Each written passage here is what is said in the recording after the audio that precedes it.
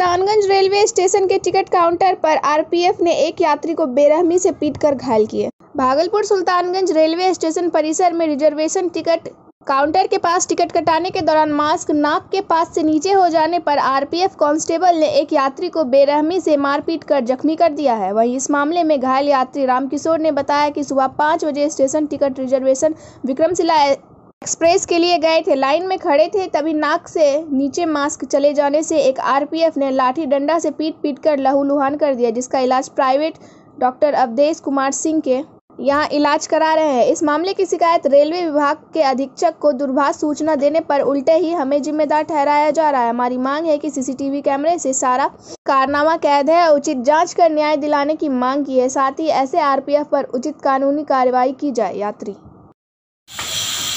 Reservation कराने के लिए दौरान में हम गए थे और आरपीएफ के सामने की आरपीएफ ने मुझे वहाँ पे ले गया उसके बाद में लाइन में खड़े थे।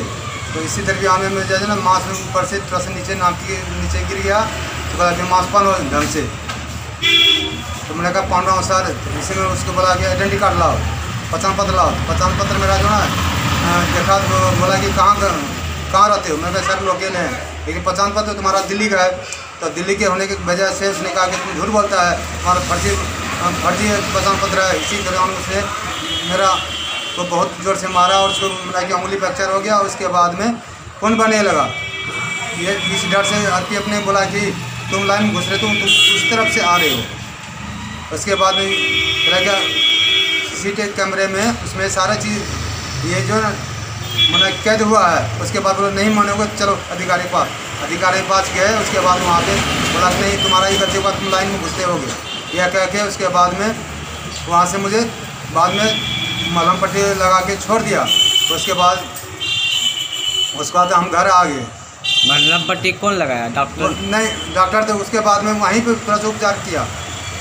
आर पी एफ़ के स्टाफ ने। उसके बाद वहाँ से आए हम अवधेश साहब के डॉक्टर के यहाँ गए फिर दवा भी लिए उसके बाद अभी भी इलाज चल रहा है। अभी भी इलाज चल रहा है। हाँ दवाई मेरे पास है।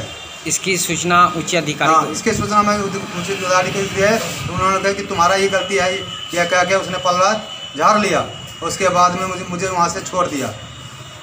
रेलवे विभाग से क्या मांग करते हैं? रेलवे विभाग से मांग करते हैं कि मेरा उचित आरपीएफ के ऊपर कार्रवाई किया जाए और सीसीटीवी कैमरा देख। के अगर मेरी गलती होगा तो मुझे दंडित किया जाए अगर उनकी गलती है तो उनको दंडित किया जाए और बर्खास्त करने की मांग करता हूँ।